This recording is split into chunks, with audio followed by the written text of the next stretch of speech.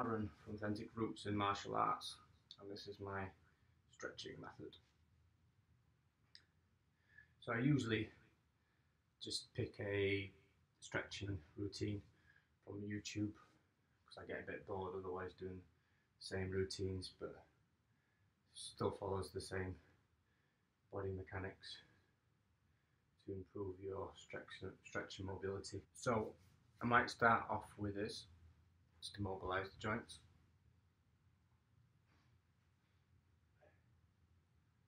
I like to turn hip in as well. Same side this way. Try and sit down into it. A bit of a stretch there. Then I might do sumo stretch. Tend to get quite low here, but it's up to you how you want to do it. Just push the knees out, yeah, and then together. I then might do a deep squat. So deep squat like that. And try to try to sit down into it, which is more advanced version. Then I will do uh, probably frog stretch next. Not fantastic at, but each time I sort of wait, I can go a bit further down as the muscles start to contract and relax. I might press down a little bit to get a bit of isometric um, stretching going, isometric contraction. Open those hips. I usually do this for longer. it's not a demo, this is a demonstration, so uh, next I might do um, this exercise to internally, I want to internally mobilize the hips, so what I do is here I'm internally moving the hip in there so I've got some mobility there. Each time I go a bit further.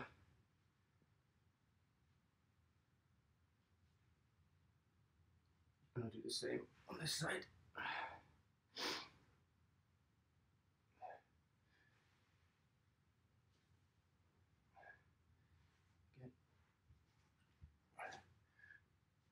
face the front.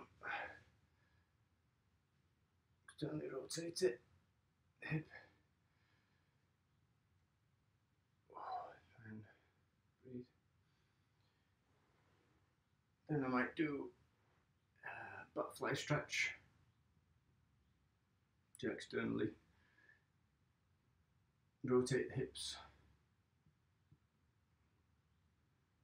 So I'm more flexible on one side, but I can press down this motion here. Try not to put pressure on these, but depends how flexible you are really. But you don't want to force it. Push down on the hips and sort of pushing out as well. I'm trying to internally rotate sorry, externally rotate. And again, I have used weak weights on the past here to, or you can use a partner to push down on, on there for you to help you to increase that. There's slightly another way you can do it. As a prop. You can do it more. If you can, if that's too easy for you,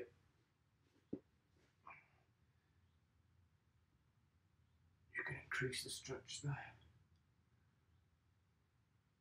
Like so. Then I'll do PNF stretch.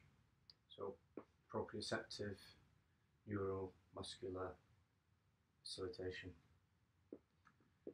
this is good if you've got somebody partner to do, but I don't have a partner with it, so um, just gradually drag this up.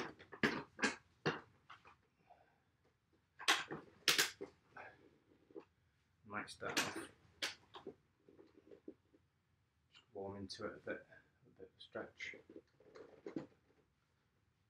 And just try and crease it gradually. Try and rotate the hips until you get to about, about 100 degrees here. Whew. You can get some machines that take it further. Usually try and hold that for about 90 seconds, but ah, just demonstrating now.